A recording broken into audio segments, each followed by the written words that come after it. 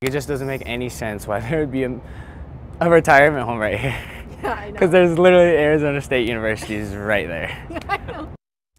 A popular music venue in downtown Tempe is under fire from its new neighbors. Shady Park is known for its popular community concerts, but people at a nearby senior living facility say the noise is too much. Here's Brianna Whitney.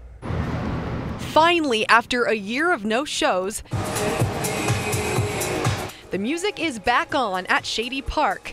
It's a place that means a whole lot to Tempe based DJ Ben Dorman, known around the world as DJ Bijou. And this was my first ever headline show in Tempe, and to sell it out was crazy. I take a lot of pride in Tempe and Phoenix as a whole, and this venue, from the day it's open, has kind of created its own community. But while many fans are thrilled the live shows are back, some neighbors are not. Here's the issue. This is where Shady Park is on University. It's been here for years in downtown Tempe, but now right across the street is Mirabella at ASU. That's a retirement community, and many of those residents moved in during the pandemic when there wasn't any live music. Well, now that live music is back, some of those residents want to shut down Shady Park. Tempe PD telling us just since May 1st, they've received 41 noise complaints at Shady Park.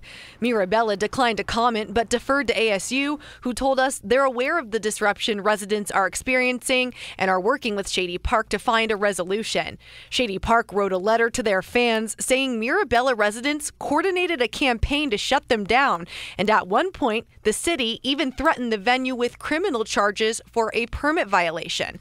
That's all been cleared up, but fans are still fighting back. I would just really like ask the retirement community to understand that this, this has been a long time going. Hundreds of Shady Park fans took to Google reviews Wednesday night, sinking Mirabella to a 1.3 star rating, explaining why they want to save the venue and make sure live music is here to stay. I think it would be cool if everyone could come to an agreement and some type of resolution so the people who live at Mirabella are happy and the owners and people that work here are happy and the people that come to the shows are happy. In downtown Tempe, Brianna Whitney for Arizona's Family.